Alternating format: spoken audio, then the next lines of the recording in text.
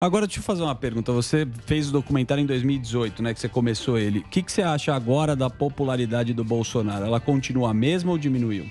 Olha, eu acho que diminuiu, mas o fato é que o, é, essa demonstração de 7 de setembro mostra que ele ainda tem muita força, né? Base, então, né? é, e de alguma forma as coisas estão se encaminhando para ficarem parecidas com o que aconteceu é, em 2018. Porque observa, o que é que fez Bolsonaro ganhar em 2018? É que Bolsonaro chega e fala coisas objetivas, coisas práticas. Por exemplo, ele diz: se o ladrão sai armado para assaltar alguém, ele tem que ser morto.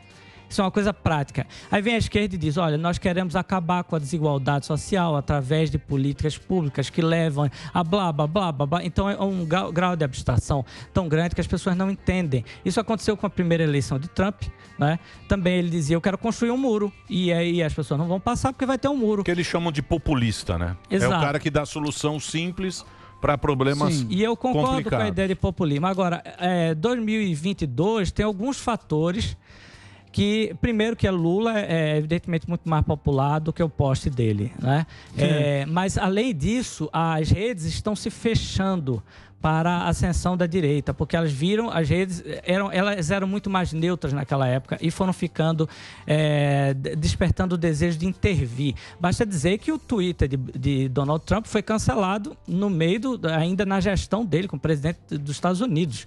Então é uma coisa seríssima e tem gente, muita gente defendendo que se cancele a conta de, de Bolsonaro.